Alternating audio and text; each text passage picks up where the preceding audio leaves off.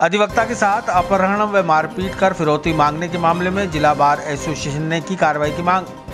नसीराबाद थाना अंतर्गत अधिवक्ता के साथ अज्ञात बदमाशों ने की मारपीट, दो लाख रुपए की मांगी फिरौती। एमबी मोबाइल सिटी आपके लिए लाया है। भरोसेमंद मोबाइल रिपेयर, सर्विस और शानदार मोबाइल एसेसरीज की नई रेंज तो नए मोबाइल फ़ोन खरीदने से पहले आइए एमबी मोबाइल सिटी पर, जहाँ हम आपके पुराने फ़ोन को तैयार करके बना सकते हैं, बिल्कुल नया। आपके शहर में मोबाइल रिपेयर सर्विसेज़ और मोबाइल एसेसरीज का एकमात्र विश्वसनीय संस्थान MB mobile city Gandhi Bhavan के सामने स्टेशन रोड अजमेर। सात दिसंबर को नसीराबाद थाना अंतर्गत अज्ञात बदमाशों ने नसीराबाद के रहने वाले अधिवक्ता देवेंद्र मारोठिया को फ़ोन कर रामसर चौराहे पर एक होटल पर मिलने बुलाया। जहाँ पहुँचने पर अधिवक्ता देवेंद्र के साथ उन्हें बोलेरो में बिठाकर अन्यत्र स्थान पर ले गए और जबरन मारपीट कर दो लाख रुपए की फिरौती देने की मांग करने लगे। इस दरमियान बदमाशों ने अधिवक्ता के साथ गाली गलौच और मारपीट की। इसके बाद आरोपी उनकी जेब से एक हज़ार रुपए, सोने की चैन और घड़ी छीनकर उन्हें हाईवे पर पटक कर फरार हो गए। इस मामले में नसीराबाद सदर थाना पुलिस द्वारा कोई कार्रवाई नहीं किए जाने के बाद आज अजमेर जिला बार एसोसिएशन ने अभियुक्तों की तत्काल गिरफ्तारी की मांग को लेकर अतिरिक्त पुलिस अधीक्षक से मुलाकात की है। बार एसोसिएशन के सचिव समीर काले ने बताया कि जिला बार एसोसिएशन ने निर्णय लिया है कि कोई भी अभियुक्तों की पैरवी नहीं करेगा, साथ ही जल्दी गिरफ्तारी नहीं हुई तो न्यायालय का कार्य भी स्थगित कर दिया जाएगा। उन्होंने राज्य सरकार से प्रोटेक्शन एक्ट जल्द लागू करने की भी मांग की है।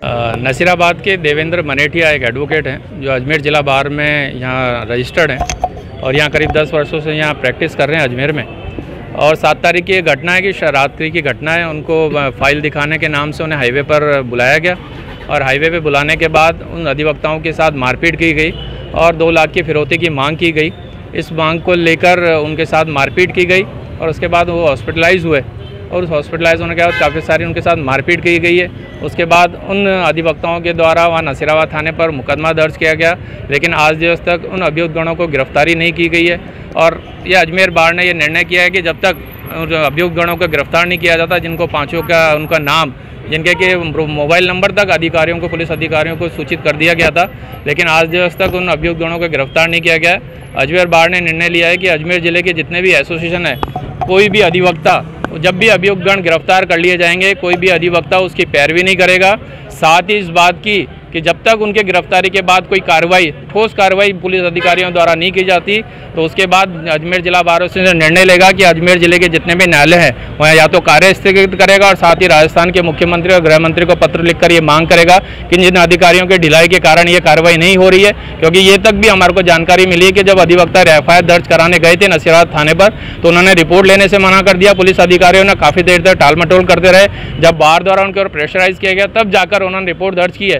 तो इस तरह की कार्रवाई नहीं हो राजस्थान सरकार से हम प्रोटेक्शन एक्ट की मांग कर रहे हैं, जो लगभग 2013 से कर, करके आ रहे हैं। और मध्य प्रदेश सरकार ने इसको लागू कर दिया जिस तरह से डॉक्टर्स को एडवोकेट प्रोटेक्शन एक्ट लागू कर रखा है, वैसे ही एडवोकेट प्रोटेक्शन एक्ट यहाँ लागू किया जाए। राजस्थान में इस वर्ग की भरपूर मांग की जा रही है और इसको लेकर जैसे भी बी को होगा, लिखित में कार्रवाई करेंगे और मुख्यमंत्री को ज्ञापन भी देंगे।